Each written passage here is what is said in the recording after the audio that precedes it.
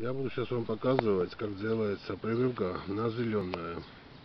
Грузины называют вот прививка нам цоем, цоем это зеленое. В общем, допустим, чтобы было легче показывать, и поэтому я не, не стал сейчас в виноградниках показывать, а вот ветка, допустим, что это дикий куст винограда, на котором мы должны прививать брендовые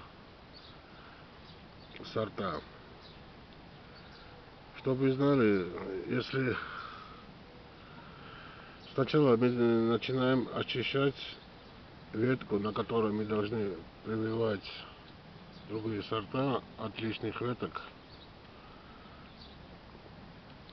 и листья.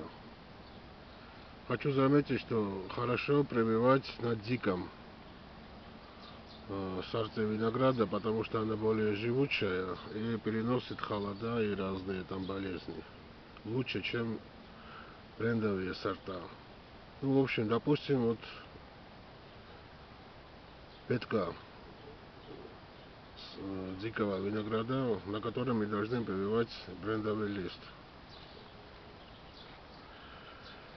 Сначала берем то, что мы должны прививать, вот, например, это алладастуры, сорта алладастуры, это темно-красное вино, получается из темно-красного винограда, очищаем от листьев и от лишних веток.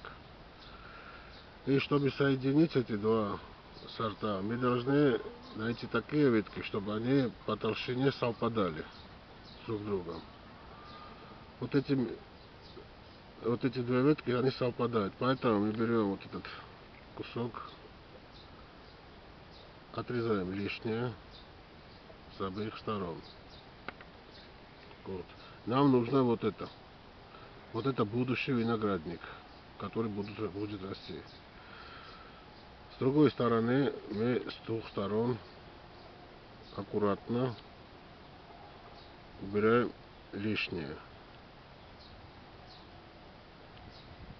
И вот делаю вот такой вот надрез.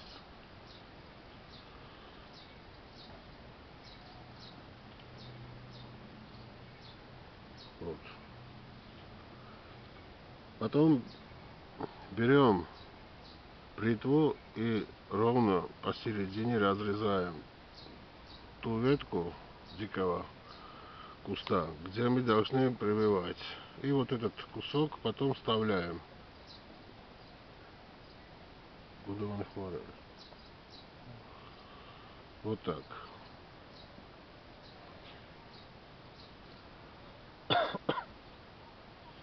И обматываем обычным обычной лентой, которую мы сделали заранее из пакетов, которые одноразовых пакетов. Обматывать мы должны как можно туго, чтобы воздух там не попадал, а то если воздух попадет, ветки будут гнить и прививка не получится. Не надо жилить ленточку, когда ветка будет расти, она сама отвалится.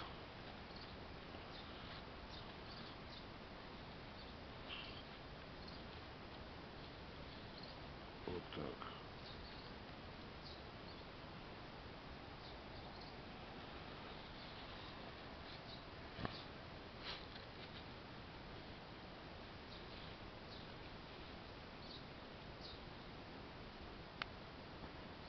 Все.